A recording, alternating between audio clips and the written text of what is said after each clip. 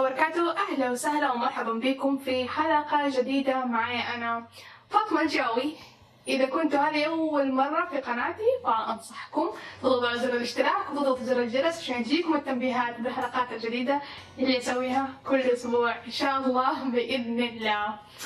طيب في حلقة اليوم أبغى أجاوب على سؤال ممكن يكون إنه متأكدة أكيد 100% إنه حينطرح. إنه أنا ليش أخذني عشان أنزل 25 كيلو؟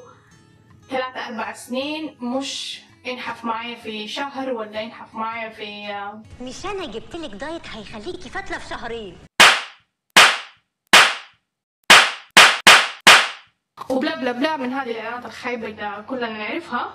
فبإذن الله في الحلقة هذه راح أتكلم عن هذا الموضوع. إذا ما شفتوا الحلقات اللي فاتت أنصحكم جدا تروح تشوفوها من الرابطة هنا. طيب أنا حابة أشرح لكم شوية مصطلحات علمية.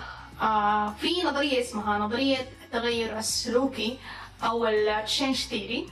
النظرية هذه تقول إنه عشان الإنسان يتغير في نمط حياة أو سلوك معين إنه هو حيمر بمراحل. المراحل هذه آه بالعربي حاولت أترجمها طلعت المرحلة الأولى التأمل أو ما قبل التأمل أول شيء بعدين التأمل بعدين عندنا الاستعداد بعدين عندنا العمل بعدين عندنا المحافظة هاي بس أزود بس خلوني أشرح معاكم الكونسبت أو المفاهيم اللي ممكن أربطها بالحلقة هذه. طيب ما قبل التأمل؟ أقول في حالتي أنا إنه أنا كنت عايشة حياتي. عادي مو فارق معايا أو يمكن أكون أنا ماني شايفة إنه أنا أصلا عندي مشكلة صحية.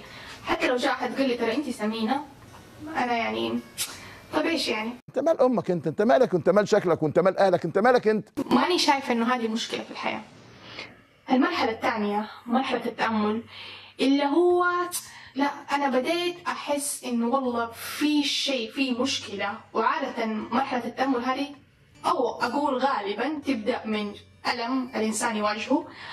آه البين اللي أنا واجهته اللي زي ما قلت لكم أنا كنت في هواي أكتف بس كانت عندي مشكلة ركبتي كانت توجعني فلما جاء ألم الركبة هذه إنه أنا بدأت إنه أنا أستوعب إنه لا أنا لازم أنزل وأبدأ أنزل من وزني.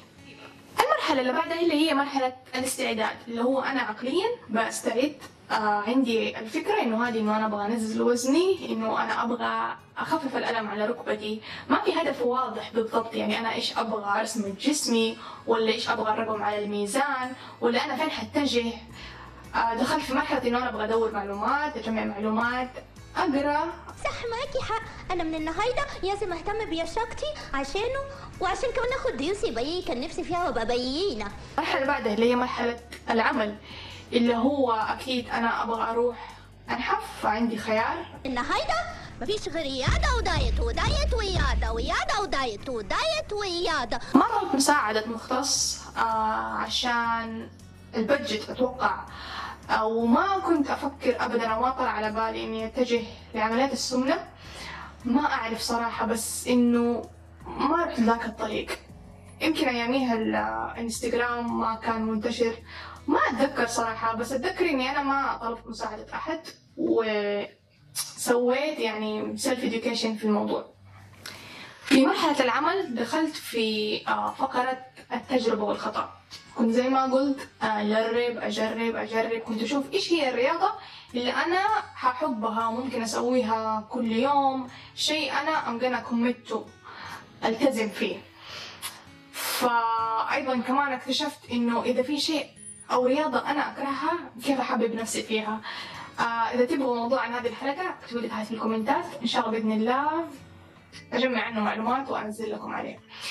وكمان زي ما قلت في الحلقات السابقة في أنواع diets كنت أجرب كنت أجرب كنت أجرب آه vegan vegetarian بلا بلا بلا بس صراحة صراحة كان في سبب صحي مرة كبير آه behind إنه أنا كنت أجرب diets مختلف.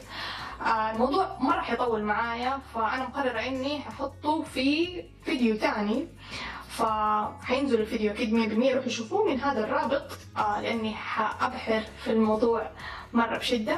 إلى هنا أقول لكم تشوفوني في المقطع الثاني إذا عجبتكم الحلقة لا تنسوا like وتشتركوا في القناة وتشاركوا هذه الحلقة. تشوفوني يلا سلام.